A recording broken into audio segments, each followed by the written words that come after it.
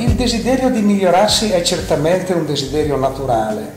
Se diventa però ossessivo, quindi continuo ed incessante, diventa un sintomo di insoddisfazione inarrestabile. È quindi opportuno, anzi è necessario, che sia proprio lo specialista nella visita, che deve essere una visita approfondita, anche da questo punto di vista, approfondire le reali ragioni che portano il paziente a chiedere quel determinato intervento. Talvolta non sarà necessario perché sono ovvie e sono del tutto condivisibili.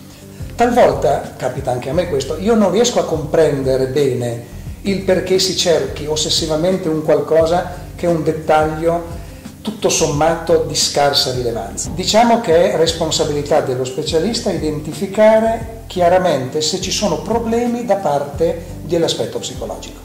Quasi sempre non ci sono, talvolta sì e in quel caso se ci sono devono essere un attimino indirizzati per evitare insoddisfazione da parte del paziente e da parte dell'operatore. È comunque un dato di fatto che oggi estetica e benessere nella società di oggi sono diventati complementari ed è quindi ragionevole e giusto venire incontro alle esigenze di miglioramento estetico, perché spesso hanno una valenza del tutto positiva sugli affetti, sulla carriera, sulla, diciamo sulla quotidianità della vita, a condizione che non ci sia un'ossessione su determinati dettagli che non sarebbe possibile risolvere, che anzi creerebbero insoddisfazione per me.